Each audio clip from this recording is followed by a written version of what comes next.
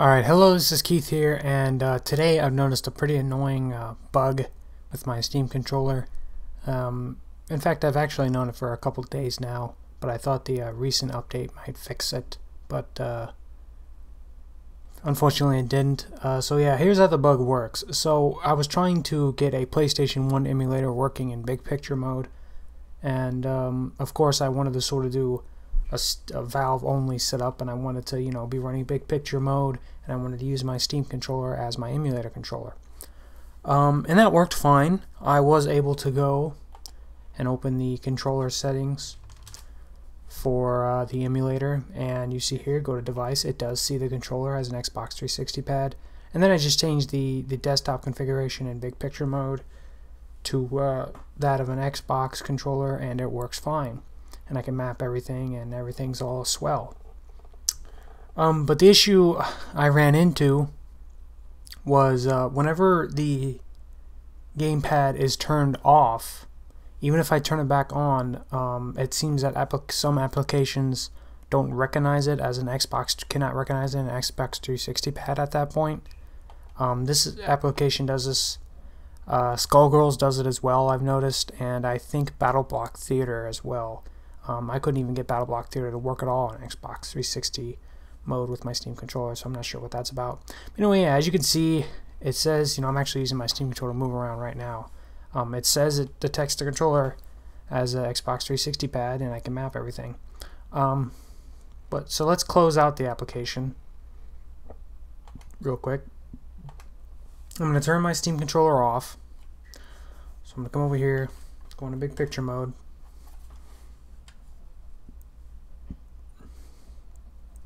Takes a little bit.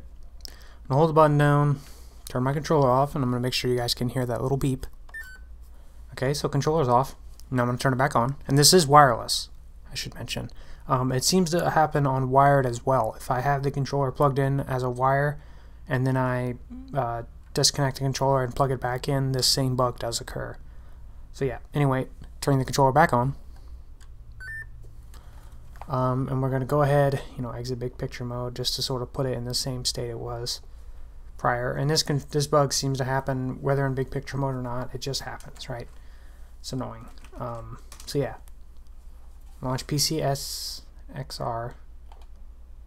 Go to controller settings, and as you can see under device, it no longer comes up.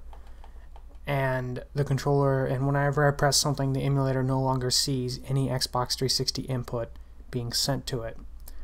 Uh, this is pretty annoying, as you can imagine, because I don't know, I'll I'll go to the bathroom or maybe I'll go uh, do something and it might take a couple minutes, and you know my controller is set to turn off after a set number of time, and I'll come back, controller will be off, I'll turn it on, and then you know I'll go to do something and nothing will work.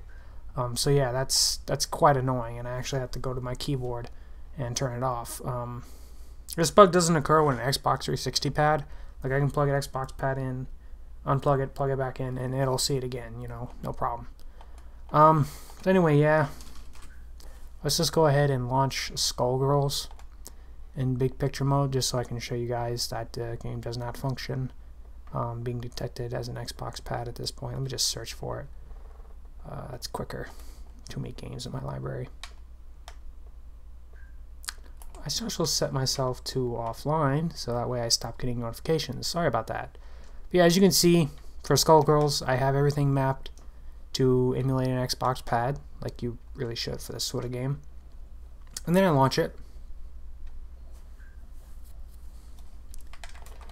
And I'm pressing buttons right now. And nothing is happening. Now, if I re if I respoot my computer entirely, turn the controller on, and then play the game, it'll work fine. This bug only occurs whenever my controller has been turned off and then turned back on, of course. So as you can see, I'm pressing, I just hit escape so I can get some damn, skip the intro, but as you can see, pressing buttons, nothing.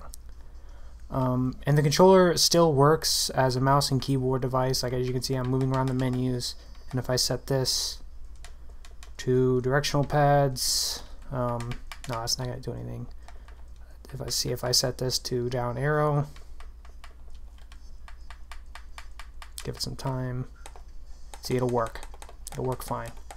So it still sees uh, the controller as a um, as a mouse and keyboard. It just not the game just isn't. I don't know if it's an application thing um, or what, but it's it's very annoying. Hopefully this issue can get uh, fixed. Um, so yeah, I gotta go to my keyboard, exit out.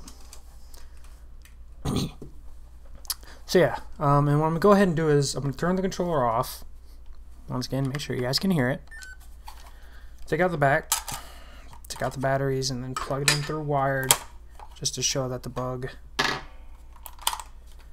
still occurs even when the controller is wired. So, I'm plugging the dongle, putting the control, plugging the controller into the US mini micro USB. Guys hear that little beep? Putting the back plate back on. Like I'm narrating everything for you guys, and then launching Skullgirls.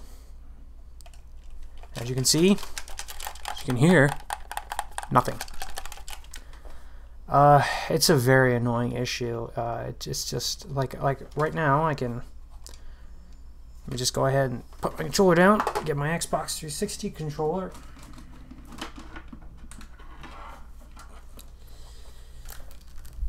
Alright, got this sucker out. Plug her in. Immediately starts working. And now I'm going to take my Xbox controller, just unplugged it, plugging it back in, starts working again immediately. And it even still says player one. Uh, and then let's go ahead, launch the emulator once again to once again showcase that this is an issue with the Steam controller specifically. Uh, so yeah.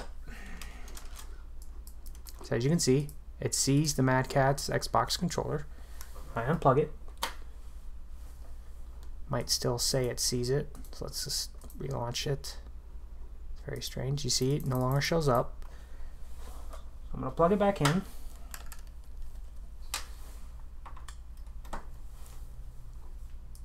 I gotta launch the controller settings.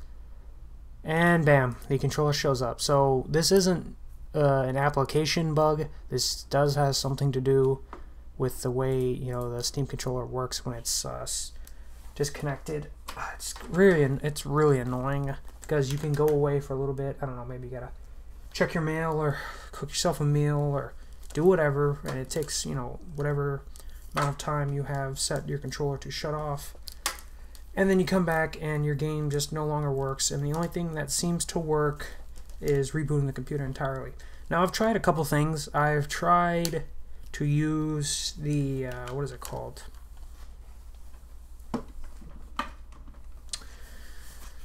You uh, let me let me find it real quick. I have the command in my history.